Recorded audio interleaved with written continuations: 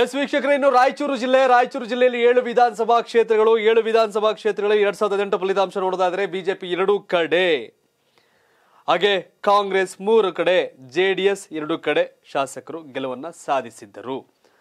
ಈ ಬಾರಿ ಏನ್ ಟ್ರೆಂಡ್ ಇದೆ, ಏನ್ ಕತೆ, ಯಾರ್ಯಾರು ಎಲ್ಲೆಲ್ಲಿ ಮುನ್ನಡೆ ಇದ್ದಾರೆ, ಯಾರ್ಯಾರು ಹಣೆ ಬರಹ ಏನು ಅಂತ. ನೋಡಿ, ರಾಯಚೂರು ನಗರದಲ್ಲಿ ಶಿವರಾಜ್ ಪಾಟೀಲ್ ಬಿಜೆಪಿಯಿಂದ ಗೆದ್ದಿದ್ರು ಶಿವನಗೌಡ ನಾಯಕ್ ದೇವದುರ್ಗ ಗೆದ್ದಿದ್ರು. ಅಂಡ್ ಮಾನ್ವಿಲಿ ರಾಜಾ ವೆಂಕಟಪ್ಪ ನಾಯಕು ಹಾಗೆ ಸಿನ್ನೂರಲ್ಲಿ ನಾಡಗೌಡರು ಗೆಲುವನ್ನು ಸಾಧಿಸಿದ್ರು. ರಾಯಚೂರು ಗ್ರಾಮೀಣದಲ್ಲಿ ಬಸನಗೌಡ ದದ್ದಲ್ಲು, ಮತ್ತು ಮಸ್ಕಿಯಲ್ಲಿ ಬೈ ಎಲೆಕ್ಷನಲ್ಲಿ ಇವ್ರು ಗೆದ್ದರು ಮತ್ತು ಬಸನಗೌಡ ತುರ್ವಿಯಾಳ್, ಹಾಗೆ ಲಿಂಗಸ್ಕೂರಲ್ಲಿ ಕಾಂಗ್ರೆಸ್ನ ಹುಲ್ಗೇರಿ ಗೆದ್ದಿದ್ರು. ಸೊ ಈಗೇನು ಟ್ರೆಂಡು ಏನು ಕತೆ ಅಂತ ನೋಡೋದಾದರೆ, ಮೊದಲನೇದಾಗಿ ರಾಯಚೂರು ಗ್ರಾಮೀಣ ಕ್ಷೇತ್ರ ಬರುತ್ತೆ. ರಾಯಚೂರು ಗ್ರಾಮೀಣದಲ್ಲಿ ತಿಪ್ರಾ ಜವಾಲ್ದಾರ್ ಪಿಯಿಂದ ಕಂಟೆಸ್ಟ್ ಮಾಡ್ತಿದ್ದಾರೆ. ಹಾಲಿ ಶಾಸಕರು Basanagouda Daddal.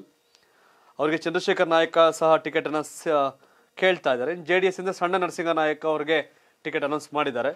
Tippa Hawaldar compare to previous months ಒಂದ್ ಸ್ವಲ್ಪ ಪಿಕಪ್ ಆಗಿದ್ದಾರೆ ಬಿಜೆಪಿ ಕ್ಯಾಂಡಿಡೇಟ್ ದದಲ್ ಕೂಡ ಬಿಟ್ಕೊಟ್ಟಿಲ್ಲ ಮುನ್ನಡೆಯನ್ನು ಕಾಯ್ದುಕೊಂಡಿದ್ದಾರೆ. ಡಿಸೆಂಬರ್ ತಿಂಗಳಲ್ಲೂ ಸಹ ಕಾಂಗ್ರೆಸ್ನ ಬಸನಗೌಡ ದದಲ್ ಮುನ್ನಡೆಯನ್ನು ಕಾಯ್ದುಕೊಂಡಿದ್ದಾರೆ. ಏನು ಕೇಳಬೇಕು ಇಲ್ಲಿ ಕಾಂಗ್ರೆಸ್ ಅಲ್ಲಿ ಇಬ್ರು ಸಿಟಿ ಎಂ ಎಲ್ ಎ ದದಲ್ಗೆ ಟಿಕೆಟ್ ಕೊಡ್ಬೋದು. ಬಟ್ ಚಂದ್ರಶೇಖರ್ ನಾಯ್ಕ ಕೂಡ ಟಿಕೆಟ್ ಕೇಳ್ತಿದ್ದಾರೆ.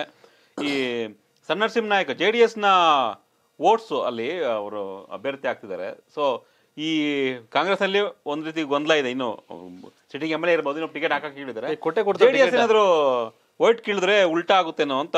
ಕಾಂಗ್ರೆಸ್ ಅಂತ ಎಂಟತ್ತು ಸಾವಿರ ಓಟು ಜಾಸ್ತಿ ಕೆತ್ತರೆ ಸಮಸ್ಯೆ ಆಗ್ಬೋದು. ಇವ್ರ ಪಾಪ ಆಪರೇಷನ್ ಕಂಬಳಕ್ಕೆ ಎಷ್ಟೋ ಜನ ಟ್ರೈ ಮಾಡಿದ್ರು ಹೋಲಿಲ್ಲ ಹೋಗಿದ್ರೆ ಮಿನಿಸ್ಟರ್ ಆಗಿರೋ ದದಲ್ ದದ್ದಲ್ ಬಟ್ ಅದು ಹೋಗಿದ್ರೆ ತಪ್ಪು ಅಂತೇನಿಲ್ಲ ಹೋಗಿ ಆತ ಆಶೇಚೆ ಅಂತೇನಿಲ್ಲ. ಬಟ್ ದದ್ದಲ್ ಅವರು ಪಕ್ಷ ನಿಷ್ಠರಾಗಿ ಉಳ್ಕೊಂಡು ವರ್ಕ್ ಮಾಡ್ತಾವ್ರೆ. ಅವ್ರಿಗೆ ಟಿಕೆಟ್ ಮಿಸ್ ಮಾಡೋದ್ರಾಗತ್ತಾ? ಓಕೆ. ಆಗತ್ತಾ? ಆಗಲ್ಲ. ಆಗಲ್ಲ. ಬಟ್ ದದ್ದಲ್ಗೆ ಟಿಕೆಟ್ ಬಹುತೇಕ ಫಿಕ್ಸ್ ತಿಪ್ಪರಾಜ ಹೊಲ್ದಾರ್ ಬಿಜೆಪಿಯಿಂದ ಜೆಡಿಎಸ್ ಇಂದ ಸಣ್ಣ ನರಸಿಂಹ ನಾಯಕ. ಈ ಜನಾರ್ದನ್ ರೆಡ್ಡಿ ಅವರ ಪಾರ್ಟಿಯಿಂದ ಇಲ್ಲಿ ಯಾರ ಕ್ಯಾಂಡಿಡೇಟ್ ನೋಡ್ಬೇಕು ನೋಡ್ಬೇಕಾದ ಕ್ಯಾಂಡಿಡೇಟ್ ಯಾರು ಅನ್ನೋದ್ರ ಮೇಲೆ ನಿರ್ಧಾರ ಆಗುತ್ತೆ. ಬಟ್ ಸದ್ಯಕ್ಕೆ ಇಲ್ಲಿ ರಾಯಚೂರು ಗ್ರಾಮೀಣದಲ್ಲಿ ಕಾಂಗ್ರೆಸ್ ಮುನ್ನಡೆಯನ್ನ ಕಾಯ್ದುಕೊಂಡಿದೆ. ಇನ್ನು ಮುಂದಿನ ವಿಧಾನಸಭಾ ಕ್ಷೇತ್ರ ರಾಯಚೂರು ವಿಧಾನಸಭಾ ಕ್ಷೇತ್ರ ಎರಡ್ ಸಾವಿರದ ಹದಿಮೂರರಲ್ಲಿ ಶಿವರಾಜ್ ಪಾಟೀಲ್ ಜೆಡಿಎಸ್ ಇಂದ ಗೆದ್ದಿದ್ರು. ಅದಾದ್ಮೇಲೆ ಬಿಜೆಪಿಗೆ ಹೋದ್ರು. ಮತ್ತೆ ಹದಿನೆಂಟರಲ್ಲೂ ಕೂಡ ಶಿವರಾಜ್ ಪಾಟೀಲ್ ಬಿಜೆಪಿಯಿಂದ ಗೆದ್ರು. ಈಗ ನೆಕ್ಸ್ಟ್ ಬಿಜೆಪಿಯಿಂದಲೇ ಶಿವರಾಜ್ ಪಾಟೀಲ್ ಅವರು ಅಭ್ಯರ್ಥಿ ಆಗ್ತಾ ಇದ್ದಾರೆ. ಸೊ ಅವ್ರಿಗೆ ಟಿಕೆಟ್ ಕೊಡುತ್ತೆ. ಇನ್ನು ಕಾಂಗ್ರೆಸ್ನಿಂದ ಎನ್ ಎಸ್ ಬೋಸರಾಜು ಅವರು ಟಿಕೆಟ್ ಆಕಾಂಕ್ಷಿ ಆಗಿದ್ದಾರೆ. ಜೊತೆಗೆ ರವಿ ಬೋಸರಾಜು ಕೂಡ ಟಿಕೆಟ್ ಕೇಳ್ತಿದ್ದಾರೆ. ಸೈಯದ್ ಯಾಸಿನ್ ಕೂಡ, ನಾನು ಕೂಡ ಟಿಕೆಟ್ ಆಕಾಂಕ್ಷಿ ಅಂತ ಕೇಳ್ತಿದ್ದಾರೆ. ಟಿಕೆಟ್ ನನಗೂ ಕೊಡಿ ಅಂತ ಸೈಯದ್ ಯಾಸಿನ್ ಅವರು. ಸೊ ಒಂದು ವೇಳೆ ಸೈಯದ್ ಯಾಸಿನ್ಗೆ ಕಾಂಗ್ರೆಸ್ನ ಟಿಕೆಟ್ ಸಿಗಲಿಲ್ಲ ಅಂದರೆ ಜೆ ಡಿ ಎಸ್ಗೆ ಹೋಗಬಹುದು, ಜೆ ಡಿ ಎಸ್ನಿಂದ ಸ್ಪರ್ಧೆ ಮಾಡಬಹುದು ಅನ್ನೋ ಒಂದು ಲೆಕ್ಕಾಚಾರ ಇದೆ ಸೈಯದ್ ಯಾಸಿನ್ ಜೆ ಡಿ ಎಸ್ಗೆ ಹೋಗ್ತಾರಂತೆ. ಕಾಂಗ್ರೆಸ್ ಟಿಕೆಟ್ ಕೊಡಲಿಲ್ಲ ಅಂದ್ರೆ ಅಂತ. ಇನ್ನು ಎ ಪಿಯಿಂದ ಮೊಹಮ್ಮದ್ ಅಜರುದ್ದೀನ್ ಟಿಕೆಟ್ ಆಕಾಂಕ್ಷಿ ಆಗಿದ್ದಾರೆ ಅವ್ರಿಗೆ ಟಿಕೆಟ್ ಕೊಡ್ತಾರೆ. ಇನ್ನು ಅಫಿಷಿಯಲ್ ಆಗಿಲ್ಲ ಬಟ್ ಅಲ್ಲಿಗಾಗಲೇ ಅವರು ಕೆಲಸವನ್ನು ಶುರುವಾಸ್ಕೊಳ್ತಾರೆ ಎ ಪಿಯಿಂದ. ಹಾಗಾಗಿ ಇಲ್ಲಿ ಬಿ ಜೆ ಪಿ ಕಾಂಗ್ರೆಸ್ ಜೊತೆಗೆ J D S J D ಎಸ್ನ ಬಿ ಜೆ ಪಿಯ ಕಾಂಗ್ರೆಸ್ನ ಟಿಕೆಟ್ ವಂಚಿತ ವಂಚಿತ ಆದರೆ ಸೈಯದ್ ಯಾಸಿನ್ ಜೆ ಡಿ ಎಸ್ಗೆ ಹೋದರೆ ಒಂದು ರೀತಿ ತ್ರಿಕೋನ ಸ್ಪರ್ಧೆ ಆಗ್ಬೋದು. ಎ ಪಿ ಬಂದ ನಾಲ್ಕು ಜನ ಸ್ಪರ್ಧೆ ಆಗಬಹುದೇನೋ ಅನ್ನೋ ಒಂದು ಚರ್ಚೆ ಆಗ್ತಾ ಇದೆ. ಬಟ್ ಕರ್ನಾಟಕ ಟಿವಿಯ ಡಿಸೆಂಬರ್ ಸರ್ವೆ ಪ್ರಕಾರ ಈ ಹಿಂದೆ ಏನು ಹದಿನೆಂಟರಲ್ಲಿ ಗೆದ್ದಿದ್ದು ಹದಿಮೂರಲ್ಲೂ ಗೆದ್ದಿದ್ರು ಜೆ ಡಿ ಎಸ್ನಿಂದ ಈಗ ಬಿ ಜೆ ಪಿಯ ಎಂ ಎಲ್ ಎ ಜೊತೆಗೆ ಅಭ್ಯರ್ಥಿ ಆಗಿರ್ತಕ್ಕಂಥ ಶಿವರಾಜ್ ಪಾಟೀಲ್ರು ಸದ್ಯ ಮುನ್ನಡೆಯನ್ನ ಸಾರಿಸಿದ್ದಾರೆ ರಾಯಚೂರು ಕ್ಷೇತ್ರದಿಂದ. ಶಿವು?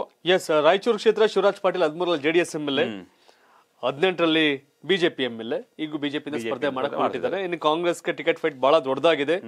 ಬೋಸ್ ಬೋಸ್ರಾಜು ರವಿ ಬೋಸ್ರಾಜು ಸೈಯದ್ ಯಾಸಿನ್ ಸೈಯದ್ ಲಿಸ್ಟ್ ದೊಡ್ಡದಿದೆ. ಬಟ್ ಬೋಸ್ರಾಜು ಟಿಕೆಟ್ ಪಡಿಲೇಬೇಕು ಅಂತ ಪಣತೊಟ್ಟು ನಿಂತಾರೆ ಅಲ್ಪಸಂಖ್ಯಾತರು ಜಾಸ್ತಿ ಇದ್ದಾರೆ. ಎಸ್ ಅಲ್ಪಸಂಖ್ಯಾತರಿಗೆ ಟಿಕೆಟ್ ಕೊಡದ ಕಾಂಗ್ರೆಸ್ ಬೋಸರಾಜು ಕೊಟ್ಟು ಬಿಜೆಪಿ ಶಿವರಾಜ್ ಪಾಟೀಲ್ ಕೊಟ್ರೆ ಟಿಕೆಟ್ ಸಿಗದ ಸೈಯ- ಸೈಯದ್ ಯಾಸಿನ್ ಜೆಡಿಎಸ್ ಇಂದನೋ ಅಥವಾ ಜನಾರ್ದನ್ ರೆಡ್ಡಿ ಅವರ ಕರ್ನಾಟಕ ಸಾರಿ ಕಲ್ಯಾಣ ರಾಜ್ಯ ಪ್ರಗತಿ. ಪ್ರಗತಿ ಪಕ್ಷದಿಂದ ನಿಂತ್ಕೊಬಿಟ್ರೆ ಬೇರೆ ಕತೆ ಆಗುತ್ತೆ. ಇಲ್ಲ ಎ ಇಂದ ಮೊಹಮ್ಮದ್ ಅಜರುದ್ದೀನ್ ರಾಣಾ ಇವರ ಎಸ್ ಆಸ್ಪಿರೆಂಟ್ ಓದ್ತಾ ಇದ್ರು. ಈಗ ಐ ಎಸ್ ಮಾಡೋದೇನು ಇಲ್ಲ ಜನಸೇವೆ ಮಾಡೋಣ ಅಂತ ಬಂದು ಓಡಾಡ್ತಿದ್ದಾರೆ.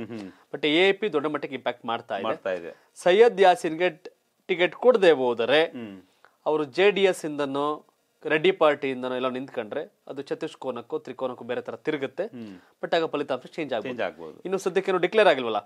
ಕಾಂಗ್ರೆಸ್ ಟಿಕೆಟ್ ಡಿಕ್ಲೇರ್ ಆಗುವವರೆಗೂ ಇಲ್ಲಿ ಬಿಜೆಪಿ ಶಿವರಾಜ್ ಪಾಟೀಲ್ ನಿರಾತಂಕವಾಗಿ ಮುನ್ನಡೆನ ಕಾಯ್ದುಕೊಂಡು ಮುಂದೆ ಹೋಗ್ತಾರೆ. ಎಸ್ ಮುಂದಿನ ಕ್ಷೇತ್ರ ಮಾನ್ವಿ ಎಸ್ ಸಿ ಮೀಸಲು ಕ್ಷೇತ್ರ ಇಲ್ಲಿ ರಾಜ ವೆಂಕಟಪ್ಪ ನಾಯಕ್ ಗೆಲುವನ್ನು ಸಾಧಿಸಿದ್ದಾರೆ. ಜೆ ಡಿ ಎಸ್ನ ಶಾಸಕರ ಅಲ್ಲಿ ಅವರೇ ನೆಕ್ಸ್ಟ್ ಟಿಕೆಟ್ ಅವರಿಗೆ ಅನೌನ್ಸ್ ಮಾಡಲಾಗಿದೆ. ಅಂದ್ ಶಿವನಗೌಡ ನಾಯಕರದ ಹೆಸರು ಕೂಡ ಕೇಳಿ ಬರ್ತಿದೆ ದೇವದುರ್ಗದಿಂದ ಇಲ್ಲಿಗೆ ಬರ್ತಾರೆ ಅಂತ. ಬಟ್ ಅನಂತ್ ನಾಯಕ್ ಕೂಡ ಅವರ ಹೆಸರು ಕೂಡ ತಿಳಿ ಬರ್ತಾ ಇದೆ. ಅಂಡ್ ಅಂಪಯ್ಯ ನಾಯಕ್ ಶಣಯ್ಯ ನಾಯಕ್ ಕಾಂಗ್ರೆಸ್ ಇಂದ ಜೆ ಡಿ ಎಸ್ ಅಲ್ಲಿ ರಾಜಾ ವೆಂಕಟಪ್ಪ ನಾಯಕ್ ಆಗಲೇ ಹೇಳಿದ್ದಾರೆ. ಬಟ್ ಅವರು ಜನಾರ್ದನ್ ರೆಡ್ಡಿ ಅವ್ರನ್ನ ಏನೋ ಭೇಟಿ ಆಗಿದ್ರು ಅವ್ರ ಮೀಟ್. ಆಗಿದ್ರಂತೆ ಅಂತೆ ಕಂತೆಗಳಿದೆ. ಹೌದು. ಬಟ್ ಇಲ್ಲಿ ಜೆ ಡಿ ಎಸ್ ಮೀಟ್ ಆಗಿದ್ರು ಮೀಟ್ ಆಗಿದ್ರು ಹೋಗಿ ಮೀಟ್ ಆಗಿದ್ರು ಬಟ್ ಯಾವ ವಿಚಾರ ಗೊತ್ತಿರಲಿಲ್ಲ ಯಾವ ವಿಚಾರ? ಯಾವ್ದು ಬೇರೆ ಬೇರೆ ಬೇರೆ ವಿಚಾರ ಮೀಟ್ ಆಗಿದ್ರು. ಕಾಫಿ ಟೀ ಕುಡಿಯಕ್ಕೆ ಹೋಗಿರ್ತಾರೆ ಅಷ್ಟೇ. ಒಂದು ವಾರದಿಂದ ಅಷ್ಟೇ ಜಾಸ್ತಿ ಅಂತ ಬಟ್ ಇಲ್ಲೇನು ಅಂದ್ರೆ ಬಿಜೆಪಿಯಲ್ಲಿ ಗೊಂದಲ ಕಾಂಗ್ರೆಸ್ನಲ್ಲಿ ಗೊಂದಲ ಜೆಡಿಎಸ್ನಲ್ಲಿ ಅಚಲ ಟಿಕೆಟ್ ರಾಜಾ ವೆಂಕಟಪ್ಪ ನಾಯಕ್ ಈ ಹಿನ್ನೆಲೆ ಸದ್ಯಕ್ಕೆ ಯಾವುದೇ ಗೊಂದಲ ಕಾಣ್ತಾ ಇಲ್ಲ. ಬಿಜೆಪಿ ಗೊಂದಲ ಕಾಂಗ್ರೆಸ್ ಗೊಂದಲ ಅನ್ನೋ ಕಾರಣಕ್ಕೆ ಇವರು ಕ್ಷೇತ್ರದಲ್ಲಿ ಕೆಲಸ ಮಾಡಿದ್ದೀನಿ. ನನಗೆ ಓಟ್ ಹಾಕ್ತಾರೆ ಅನ್ನೋ ಕಾನ್ಫಿಡೆನ್ಸ್ ಅಲ್ಲಿ ಈ ಹಿನ್ನೆಲೆ ಸದ್ಯಕ್ಕೆ ಇವತ್ತಿನ ಮಟ್ಟಿಗೆ. ಯಾಕಂದ್ರೆ ಒಂದಷ್ಟು ಪಂಚರತ್ನ ಯಾವಾಗ ಟೇಕ್ ಆಫ್ ಆಯ್ತು ಹಳೆ ಮೈಸೂರು ಅಲ್ಲೂ ಕೂಡ ಕಾರ್ಯಕರ್ತರು ಮತ್ತೆ ಜೋಶ್ ಶುರುವಾಗಿದೆ ಆ ಭಾಗಕ್ಕೂ ಹೋಗುತ್ತೆ. ಬಟ್ ಸದ್ಯಕ್ಕೆ ಜೆಡಿಎಸ್ನ ರಾಜಾ ವೆಂಕಟಪ್ಪ ನಾಯಕ್ ಅವರು ಮಾನ್ವಿಯಲ್ಲಿ ಮುನ್ನಡೆನ ಕಾಯ್ದುಕೊಂಡಿದ್ದಾರೆ.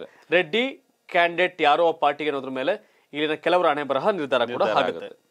ಎಸ್ ಇನ್ನು ಮುಂದಿನ ವಿಧಾನಸಭಾ ಕ್ಷೇತ್ರ ದೇವದುರ್ಗ ವಿಧಾನಸಭಾ ಕ್ಷೇತ್ರ. ದೇವದುರ್ಗದಲ್ಲಿ ಈಗ Shivanagouda Nayak sitting M L A ಬಿಜೆಪಿಯಿಂದ ಹಿಂದೆ ಜೆ ಡಿ ಎಸ್ ನಲ್ಲಿದ್ದರು ಎರಡ್ ಸಾವಿರದ ಎಂಟರಲ್ಲಿ Shivanagouda Nayak J D S ಇಂದ ಆಯ್ಕೆ ಆಗಿದ್ರು.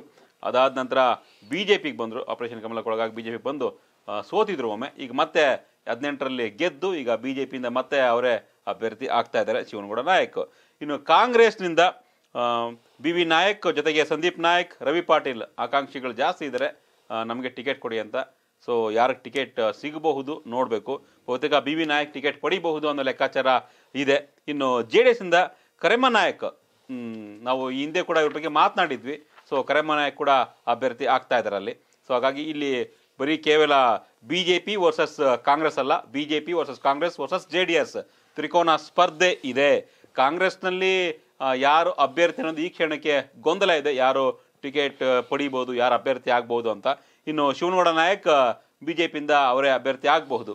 ಸೊ ಇದ್ರ ಜೊತೆಗೆ ಈಗ ಜೆ ಡಿ ಎಸ್ನ ಕರೆಮ್ಮ ನಾಯಕ್ ಕರ್ನಾಟಕ ಟಿವಿಯ ಡಿಸೆಂಬರ್ ಸರ್ವೆಯಲ್ಲಿ ಮುನ್ನಡೆಯನ್ನ ಕಾಯ್ದುಕೊಂಡಿದ್ದಾರೆ. ಎಸ್ ಕಾಂಗ್ರೆಸ್ನಲ್ಲಿ ಗೊಂದಲ. ಜೊತೆಗೆ ಶಿವನಗೌಡ ನಾಯಕ್ ಸ್ವಲ್ಪ ಹಿನ್ನಡೆ ಅನುಭವಿಸಿರೋದ್ರಿಂದ ಈಗ ಕರೆಮ್ಮ ನಾಯಕ್ ಲೀಡ್ ತಗೊಳ್ತಾ ಇದ್ದಾರೆ ಡಿಸೆಂಬರ್ ಟಿವಿ ಡಿಸೆಂಬರ್ನ ಸರ್ವೆಯಲ್ಲಿ. ಶಿವು ಕರೆಮ್ಮ ನಾಯಕ್ ಇದು ಟ್ರಯಾಂಗಲ್ ರಾಯಚೂರಲ್ಲಿ ಉತ್ತರ ಕರ್ನಾಟಕ ಬರೀ ವರ್ಸಸ್ ಅಂತಾರೆ. ಅಲ್ಲ ಇಲ್ಲಿ ಟ್ರಯಾಂಗಲ್ ಟ್ರಯಾಂಗಲ್ ಶಿವನಗೌಡ ನಾಯಕ್ ಹಾಗೆ ಕಾಂಗ್ರೆಸ್ ಇಂದ ಬಿ ವಿ ನಾಯಕ್ ಆಚೆ ಚರ್ಚೆ ಇನ್ನು ಕೂಡ ಗೊಂದಲ ಇದೆ. ಆಮೇಲೆ ಶಿವನಗೌಡ ನಾಯಕ್ ಮನವಿಗೆ ಹೋಗ್ಬಿಡ್ತಾರಂತೆ. ಹಂಗೆ ಹಿಂಗೆ ಇರೋ ಕಾರಣ. ಕರೆಮ್ಮ ತುಂಬಾ ಸ್ಟ್ರಾಂಗ್ ಆಗಿ ಓಡಾಡ್ತಿದ್ದಾರೆ. ಗ್ರೌಂಡ್ ಅಲ್ಲಿ ಕೆಲಸ ಮಾಡ್ತಾ ಇದ್ದಾರೆ. ಈ ತಿಂಗಳು ಸಹ ಕಳೆದ ತಿಂಗಳಿನಂತೆ ದೇವದುರ್ಗ ಕ್ಷೇತ್ರದಲ್ಲಿ ಜೆಡಿಎಸ್ನ ಕರೆಮ್ಮ ನಾಯಕ್ ಮುನ್ನಡೆಯನ್ನ ಕಾಯ್ದುಕೊಂಡಿದ್ದಾರೆ. ಎಸ್ ಮುಂದಿನ ಕ್ಷೇತ್ರ ಲಿಂಗಸ್ಗುರು ಕ್ಷೇತ್ರ ಲಿಂಗಸ್ಗುರು ಕ್ಷೇತ್ರದಲ್ಲಿ ಮಾಲಪ್ಪ ವಜ್ಜಲ್ ಬಿಜೆಪಿಯಿಂದ ಕಾಂಗ್ರೆಸ್ ಇಂದ ಅಲ್ಲಿ ಶಾಸಕರು ಡಿ ಎಸ್ ಹೂಲ್ಗೇರಿ ಹಾಗೂ ಜೆಡಿಎಸ್ ಇಂದ ಸಿದ್ದು ಬಂಡಿ ಟ್ರಯಾಂಗಲ್ ಫೈಟ್ ಇದೆ ಇಲ್ಲಿ.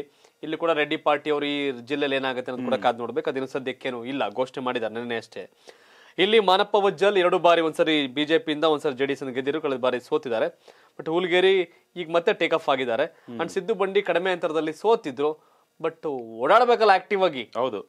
ಸೋತವ್ರು ಏನಾಗುತ್ತೆ ಗೆಲ್ಲಕ್ಕೆ ನೀವು ಎರಡೂವರೆ ಮೂರು ಸಾವಿರ ತಾನೆ ಅಂತ ನುಗ್ಬೇಕು ಬಟ್ ಆ ಫೋರ್ಸ್ ಕಾಣ್ತಿಲ್ಲ.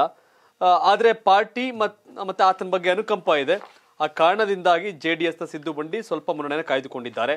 ಜನವರಿ ತಿಂಗಳಲ್ಲೂ ಫೆಬ್ರವರಿ ತಿಂಗಳಲ್ಲೂ ಚುನಾವಣೆ ಮಾಡದೆ ಮಲ್ಕೊಂಡಿದ್ರೆ ಶಿಸ್ತ ಕಾಂಗ್ರೆಸ್ ಅವ್ರು ಚುನಾವಣೆ ಗೆದ್ಕೊಂಡು ಹೋಗ್ಬೋದು. ಅನುಕಂಪ ಐತೆ ಅಂತ ಕುತ್ಕೊಂಡು ಅಳ್ತಾ ಕೂತಿರಾಗತ್ತೆ ಯಾವಾಗ? ಆಗೋದೇ ಇಲ್ಲ. ಹೋಗ್ಬೇಕು ಓಟ್ ಕೇಳಬೇಕು ಸಂಘಟನೆ ಮಾಡಬೇಕು ಕ್ಯಾಂಪೇನ್ ಮಾಡಬೇಕು ಪ್ರಚಾರ ಮಾಡಬೇಕು ಸಮಾವೇಶ ಮಾಡಬೇಕು ಅವೆಲ್ಲ ಮಾಡ್ಬೇಕಾಗತ್ತೆ. ಬಟ್ ಸಿದ್ದು ಬಂಡಿ ಈ ಕ್ಷಣ ಇವತ್ತೇನೋ ಈ ತಿಂಗಳಿಗೆ ವರ್ಕೌಟ್ ಆಗತ್ತೆ ಇದು. ಈಗ ಚುನಾವಣೆಗೆ ನೂರ ನಲವತ್ತು ದಿನ ಬಾಕಿ ಐತೆ. ಈಗಲೂ ಆ ಜೋಶು ಆ ಟೇಕ್ ಆಫ್ ಆಗಿಲ್ಲ ಅಂದ್ರೆ ಕಷ್ಟ ಬಟ್ ಪಂಚರತ್ನ ಹೋಗುತ್ತೆ ಆ ಟೈಮ್ಗೆ ಆ ಟೈಮ್ ಇನ್ನೂ ಟೇಕ್ ಆಫ್ ಆಗ್ಬೋದು ಅಂತ ಅನ್ಕೋಬಹುದು ಸದ್ಯಕ್ಕೆ ಲಿಂಗಸ್ಕೂರಲ್ಲಿ ಜೆ ಡಿ ಎಸ್ ಸ್ವಲ್ಪ ಮುನ್ನಡೆ ಕಾಂಗ್ರೆಸ್ಗಿಂತ. ಬಿಜೆಪಿ ಮೂರನೇ ಪ್ಲೇಸ್ ಅಲ್ಲಿ ಇದೆ first J D S second Congress ಮೂರ್ ಜೆ ಡಿ ಎಸ್ ಮೂರ್ ಬಿಜೆಪಿ ಬಿಜೆಪಿ ಅನ್ನೋ ತರ ಇದೆ. ಫಸ್ಟ್ ಬಿಜೆಪಿ ಅಲ್ಲ J D S JDS second Congress Congress ಮೂರು ಬಿಜೆಪಿ ಮೂರು ಬಿಜೆಪಿ ಅನ್ನೋ ತರ ಇದೆ.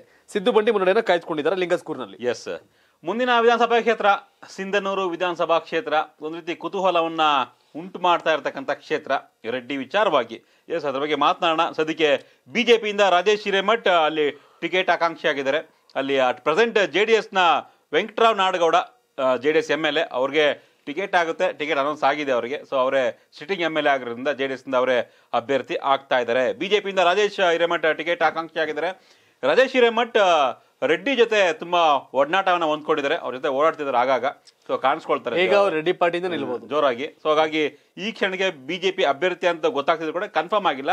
ಬಹುಶಃ ರೆಡ್ಡಿ ಪಾರ್ಟಿ ಜೊತೆ ಹೋಗ್ಬೋದು ಅಂತಿದೆ ಇನ್ನೂ ವಿಶೇಷ ಅಂದ್ರೆ ಅಲ್ಲಿ ಸಿನ್ನೂರು ಕ್ಷೇತ್ರದಲ್ಲಿ ರೆಡ್ಡಿ ಅವರ ಪತ್ನಿಯನ್ನು ನಿಲ್ಲಿಸುವಂತ ಒಂದು ಪ್ಲಾನ್ ನಡೆದಂತೆ ಕಾಣಿಸ್ತಾ ಇದೆ. ರೆಡ್ಡಿ ಅವರು ಈ ಹಿಂದೆ ಬಿಜೆಪಿಯಲ್ಲಿ ಇದ್ದಾಗ, ಅಂದರೆ ಅವ್ರು ಇನ್ನೂ ಪಾರ್ಟಿ ಅನೌನ್ಸ್ ಮಾಡದೆ, ಸಿಂಧೂರಿನ ಟಿಕೆಟ್ ಕೊಡಿ ಅನ್ನೋ ಒಂದು ಮಾತನ್ನು ಕೇಳಿದ್ರಂತೆ. ಬಹುಶಃ ಆ ವಿಚಾರವಾಗಿ ಬಿ ಜೆ ಪಿ ಒಪ್ಪದೇ ಇದ್ದಾಗ ಸೊ ಹೊರಗಡೆ ಬಂದು ಈಗ ಪಾರ್ಟಿಯನ್ನು ಅನೌನ್ಸ್ ಮಾಡಿದ್ದಾರೆ. ಹಾಗಾಗಿ ಸಿಂಧೂರು ಕ್ಷೇತ್ರಕ್ಕೆ ಜನಾರ್ದನ್ ರೆಡ್ಡಿ ಅವರ ಪತ್ನಿ ಕೂಡ ಅಭ್ಯರ್ಥಿ ಆಗಬಹುದು ಅವ್ರ ಪಾರ್ಟಿಯಿಂದ.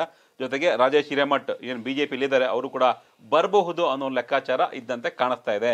ಸೊ ಕ್ಲಾರಿಟಿ ಇಲ್ಲ ಬಿ ಜೆ ಪಿಯಿಂದ ಯಾರು ಅಭ್ಯರ್ಥಿ, ರೆಡ್ಡಿಯಿಂದ ಪಾರ್ಟಿಯಿಂದ ಯಾರು ಅಭ್ಯರ್ಥಿ ಅಂತ. ಸದ್ಯಕ್ಕೆ ಜೆ ಡಿ ಎಸ್ನ ವೆಂಕಟರಾವ್ ನಾಡಗೌಡ ಜೆ ಡಿ ಎಸ್ನ ಅಭ್ಯರ್ಥಿ. ಇನ್ನು ಕಾಂಗ್ರೆಸ್ನಲ್ಲಿ ಕೂಡ ಹಂಪನಗೌಡ ಬಾದರ್ಲಿ, ಬಸನಗೌಡ ಬಾದರ್ಲಿ ಸೊ ಕರಿಯಪ್ಪ ಇವರು ಕೂಡ ಟಿಕೆಟ್ ಆಕಾಂಕ್ಷಿಗಳಾಗಿದ್ದಾರೆ. ನೋಡ್ಬೇಕು ಯಾರಿಗೆ ಟಿಕೆಟ್ ಕೊಡುತ್ತೆ ಅಂತ.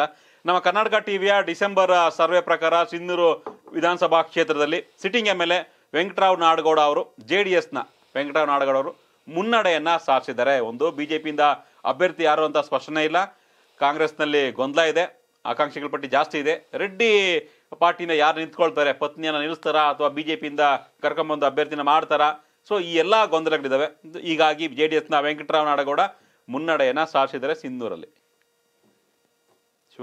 ಎಸ್ ಇಲ್ಲಿ ವೆಂಕಟರಾವ್ ನಾಡಗೌಡ್ರು ಹೆಂಗೆ ಅಂದರೆ ಕಾಂಗ್ರೆಸ್ ಅಲ್ಲಿ ಮೂರು ಜನ ಆಕಾಂಕ್ಷಿಗಳು. ಹಂಪನಗೌಡ ಬಸನ್ಗೌಡ ಮತ್ತೆ ಕರಿಯಪ್ಪ. ಸರಿಯಪ್ಪ ಹಾಗೆ ಬಿಜೆಪಿಲಿ ಮೂರನೇ ಪ್ಲೇಸ್ ಈ ಕ್ಷೇತ್ರದಲ್ಲಿ. ಇಲ್ಲಿ ಜೆಡಿಎಸ್ ವರ್ಸಸ್ ಕಾಂಗ್ರೆಸ್ ಫೈಟ್ ಆಗ್ತಿದ್ದು.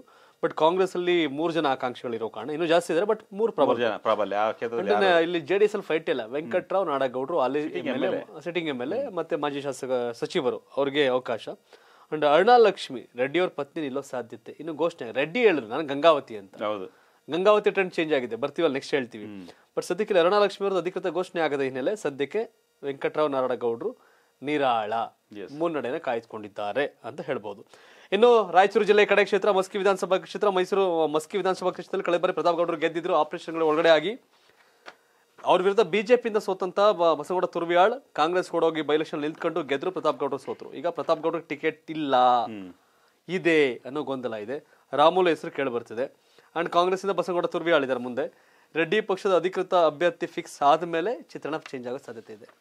ಮೂರು ದಿನಗಳಿಂದ ಹೋಗಿದ್ರು. ಮಸ್ಕಿಗೆ ಹೋಗಿ ಕೆಲವೊಂದಿಷ್ಟು ಲೀಡರ್ಸ್ ಅನ್ನ ಭೇಟಿಯಾಗಿ ಅಲ್ಲೊಂದು ಇದೆ ಹೋಗಿ ಪೂಜೆ ಬಟ್ ಎಲ್ಲ ಮಾಡಿ ಬಂದ ಮೇಲೆ ಮುಂದುದೇನು?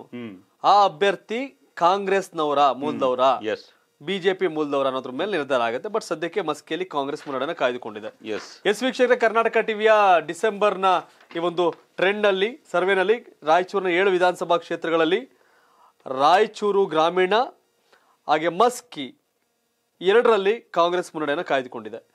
ಬಿಜೆಪಿ ರಾಯಚೂರು ನಗರದಲ್ಲಿ ಮಾತ್ರ ಮುನ್ನಡೆಯನ್ನು ಕಾಯ್ದುಕೊಂಡಿದ್ರೆ ಮಾನ್ವಿ ದೇವದುರ್ಗ ಸಿಂಧನೂರು ಲಿಂಗಸ್ಕೂರು ನಾಲ್ಕು ಕ್ಷೇತ್ರಗಳಲ್ಲಿ ಒಂದ್ ರೀತಿ. ಹಳೆ ಮೈಸೂರು ತರ ಜೆಡಿಎಸ್ ಇಲ್ಲಿ ಏಳರ ನಾಲ್ಕು ಗೆಲ್ತಾ ಇದೆ ಅಂದ್ರೆ ಹಳೆ ಮೈಸೂರು ತರ ದೇವೇಗೌಡರು ಕುಮಾರಸ್ವಾಮಿ ಮುಖ ನೋಡೋಣ ವೋಟ್ ಆಗ್ತಾ ಇಲ್ಲ. ಕ್ಯಾಂಡಿಡೇಟ್ಗಳ ಕೆಪಾಸಿಟಿ ಕ್ಯಾಂಡಿಡೇಟ್ಗಳ ಕೆಪಾಸಿಟಿ ಇಬ್ಬರು ಇಬ್ರು ಎಂ ಎಲ್ ಇದ್ರೆ ನೀವು ಸುಮ್ಮನೆ ಎಲ್ಲ ತಗೊಂಡೋಗಿ ಹಳೆ ಮೈಸೂರು ತರ ಅನ್ಬಿಟ್ರೆ ಹೆಂಗೆ ಅಲ್ಲಿ? ಏನೋ ಜೆಡಿಎಸ್ ಹಳೆ ಮೈಸೂರಲ್ಲಿ ಕುಮಾರಸ್ವಾಮಿ ದೇವೇಗೌಡರ ಮುಖ ನೋಡಿ ಓಟ್ ಹಾಕ್ತಾರೆ. ಇಲ್ಲ ಹಂಗಲ್ಲ. ಇವ್ರ ಕ್ಯಾಂಡಿಡೇಟ್ ಕೆಪಾಸಿಟಿ ಒಪ್ಕೋಬೇಕಲ್ಲ ಅದನ್ನ. ಕ್ಯಾಂಡಿಡೇಟ್ ಕಾರಣದಿಂದಾಗಿ ನಿಮ್ಗೆ ಗುರುಮಿಟ್ಗಳಲ್ಲಿ ಗೆಲ್ಲೋದು. ಕ್ಯಾಂಡಿಡೇಟ್ ಕಾರಣದಿಂದಾಗಿ ಬಂಡೆ ಬಂಡೆ ಬಂಡೆಪ್ಪ ಕಾಶಂಪುರ ಕುರುಬ ಸಮುದಾಯದವರು. ಕುರುಬ ಸಮುದಾಯ ಸಿದ್ದರಾಮಯ್ಯ ಒಕ್ಕಲಿಗರ ವಿರೋಧ ಅಂತ ಪ್ರೊಜೆಕ್ಟ್ ಮಾಡಿದ್ರು ಕಾಂಗ್ರೆಸ್ ಅವ್ರು ಸೋತರು ಜೆಡಿಎಸ್ ಅವ್ರು ಗೆದ್ರಲ್ಲಿ.